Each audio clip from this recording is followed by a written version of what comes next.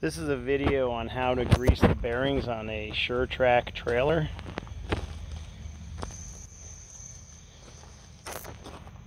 This particular trailer is equipped with Lippert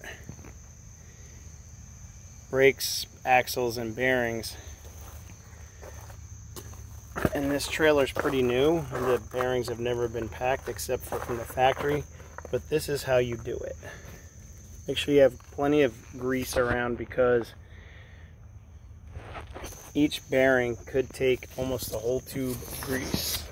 So let me set this up. Sorry about that. So you can see. There you go.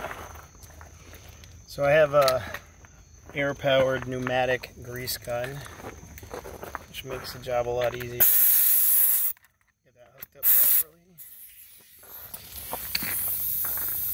All I gotta do is peel this little seal off. Be careful not to break it. Just peel that off. Under there is the grease nipple, little Zerk fitting. Standard.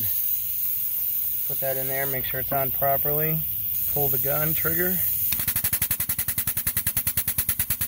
Pump the grease into it.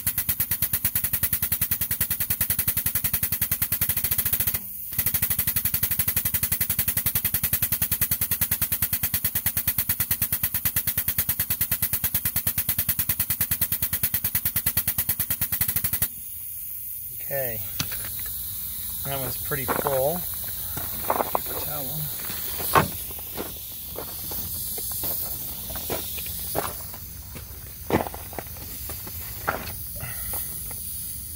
Took almost a whole tube of grease to fill that up. But anyway, that's how you fill that. You just got to put this back on carefully. It's actually pretty easy. Goes right on. Make sure it's fitted in there properly. Keeps all the dirt and oil and anything else out of there. And that's it. And that's how you change the grease or repack the bearings on a Sure-Trac trailer.